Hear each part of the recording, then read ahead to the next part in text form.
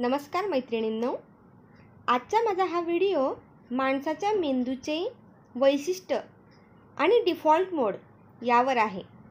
आता डिफॉल्ट मोड हे काय असते हा प्रश्न तुम्हाला पडला असेल. मी बऱ्याच स्त्रियांमध्ये बघितलं आहे की विचार करण्याची सवय आहे ती खूप जास्त आहे. विचार करणे हेच माणसाच्या मेंदूचे वैशिष्ट्य आहे.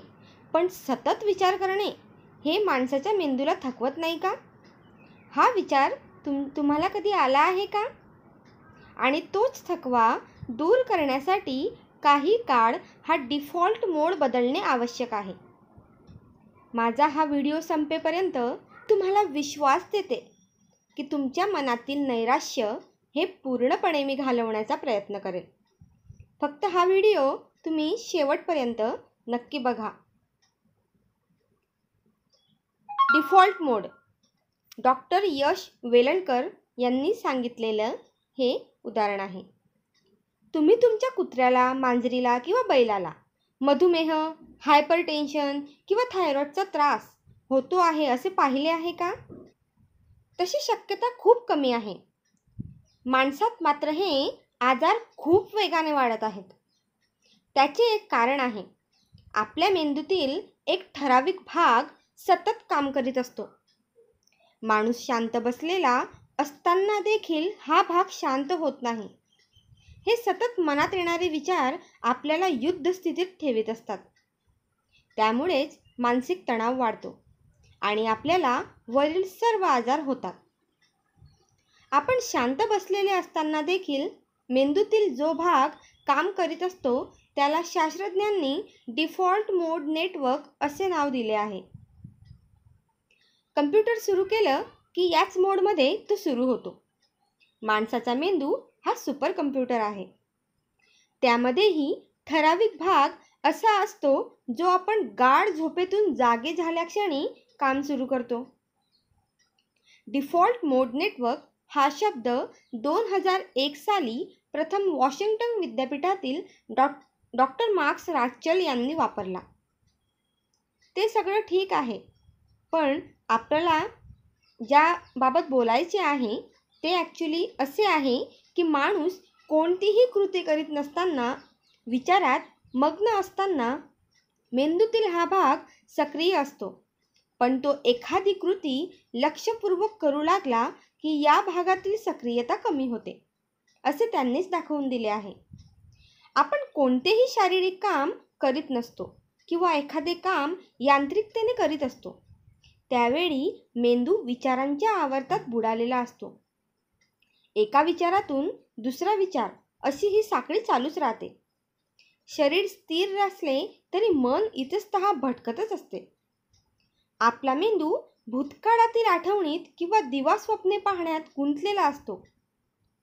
तुमच्यासोबतही असे झालेले असेल. त्यासाठीच मेंदूत ऊर्जा वापरली जात असते.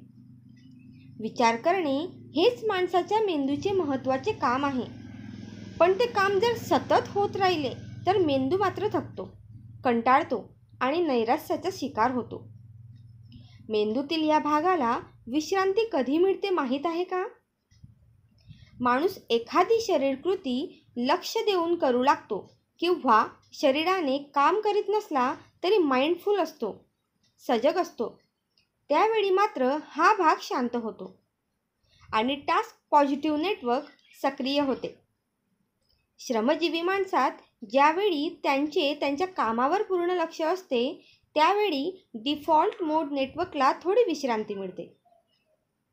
कुंभार त्याचे मडके तयार करीत असतो. त्यावेळी त्याच्या मेंदूतील हा मोड बदलला जात असतो. कारण मडके करण्याच्या कृतीवर त्याला एकाग्र व्हावे लागते. बुद्धिजीवी माणसात मात्र असे होत नाही. शिकवताना हिशेब करीत असताना किंवा कम्प्युटरवर काम करीत असताना मेंदूत विचार असतातच.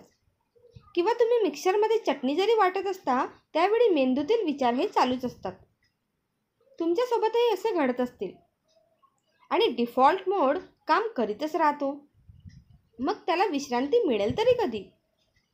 सजगतेने आपण ज्यावेळी श्वासामुळे होणारी छाती किंवा पोटाची हालचाल जाणतो किंवा त्या क्षणी येणाऱ्या बाह्य आवाजावर लक्ष केंद्रित करतो त्यावेळी डिफॉल्ट मोड हा शांत होतो. माणूस श्वासाचा स्पर्श जाणू लागतो त्यावेळी त्याच्या मेंदूतील टास्क पॉझिटिव्ह नेटवर्क काम करू लागते. आपल्या मेंदूच्या लॅटरल प्री फ्रंटल कॉर्टेक्समध्ये लक्ष केंद्रित करणारे केंद्र असतात. ते यामुळे सक्रिय होते. श्वासामुळे होणारी छातीची किंवा पोटाची हालचाल तुम्ही जाणत असता. त्यावेळी मेंदूतील इन्सुला नावाचा भाग सक्रिय होतो आणि डिफॉल्ट मोड शांत होतो. मन काही क्षण वर्तमानात राहते. त्यावेळी मेंदूतील विचार करणाऱ्या भागाला विश्रांती मिळते. विचार करणे हेच माणसाच्या मेंदूचे वैशिष्ट्य आहे पण सतत विचार करत राहणे यामुळे मात्र मेंदूला थकवा येतो. आणि तोच थकवा दूर करण्यासाठी आपला हा डिफॉल्ट मोड बदलणे आवश्यक आहे. आता तुम्ही म्हणाल हे सगळं आम्हालाही कळतं. पण यावर उपाय काय? तर त्यासाठीचा एक साधा उपाय करून बघा. शांत बसा. एक हात छातीवर दुसरा पोटावर ठेवा. तुम्ही काहीही करीत नसलात तरी तुमचे शरीर श्वासोच्छवास करते आहे. त्यामुळे छाती किंवा पोट हलते आहे. तुमचे सर्व लक्ष तुमच्या हातांवर ठेवा. आणि नैसर्गिक श्वासामुळे छाती अधिक हलते आहे की पोट हे जाणा. ज्यावेळी ही हालचाल समजते त्यावेळी तुमच्या मेंदूतील डिफॉल्ट मोड शांत झालेला असतो. आणि तेच तर आपल्याला हवं आहे. त्याला विश्रांती मिळत असते. जो श्वास तुम्हाला समजतो तो चांगला श्वास गुडब्रीत असा गुड गुडब्रीत मेंदूला ताजेतवाने करतो. दिवसभरात किमान तीन चार वेळा श्वासाची हालचाल जाणायची असं ठरवता येईल.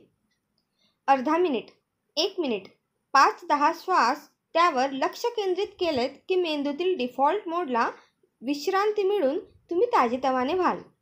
किती साधा आणि सोपा उपाय आहे. फक्त त्याची आठवण होणेच थोडेसे अवघड आहे.